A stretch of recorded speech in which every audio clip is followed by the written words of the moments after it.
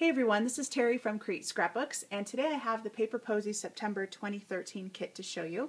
First I want to show you the 12 by 12 papers. This first one is the Cut and Paste by Jen Allyson from My Mind's Eye, and this is a 12 by 12 sheet that's a cut apart so you could use it for Project Life, titles, anything like that. It says, Sweet Child of Mine, You Make Me Happy When Skies Are Gray, This Week, Sweet Ride, Details, You Are Here, how Sweet It Is to Be Loved by You, an extra special. Then you get three papers from Bazzill Basics Paper, and this is their Autumn Harvest line. Blue News, Ledger Dot, this one is Harvest Brocade,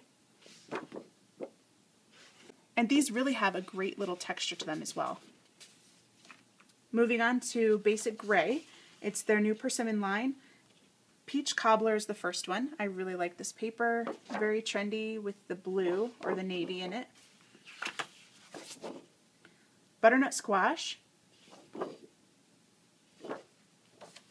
Spiced Pear. Pumpkin Spice. And this one is Harvest Cider. And with paper posies, you always get a lot of great cardstock. There are four different colors, two of each of the Marigold, Tropical, Navel, and French Vanilla from Bazzill. So some great stuff there.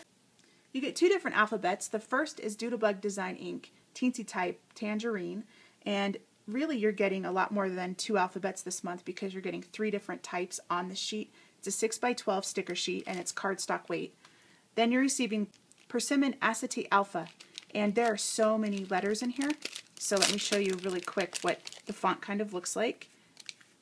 It's all uppercase. It does have some punctuation and brackets and things like that. So a whole package of that. Then some buttons from Cut and Paste as well. These are on an acetate sheet. There are chipboard buttons that are printed. There are chipboard pennants and one says happy and also just some regular buttons on there as well and they are self-adhesive. And then check this out, you get this great package of persimmon die cut cardstock and transparencies. There is so much in this package. Try to show you as best as I can. You get die cuts that are paper. One says Happy Halloween Tricks and Treats. Trick or Treat with um, candy corns, some arrows, jack o' lantern, giving thanks, some flowers, fall, pumpkins, autumn, cute little owl. And then there's also acetate or transparencies. So these are really great. There's big flowers there, some other design elements. A little birdie told me, autumn, so very thankful, some leaves, time for giving, autumn fun. There's so much in here. All Hallows Eve, an ampersand. And I think my very favorite is this little sweater.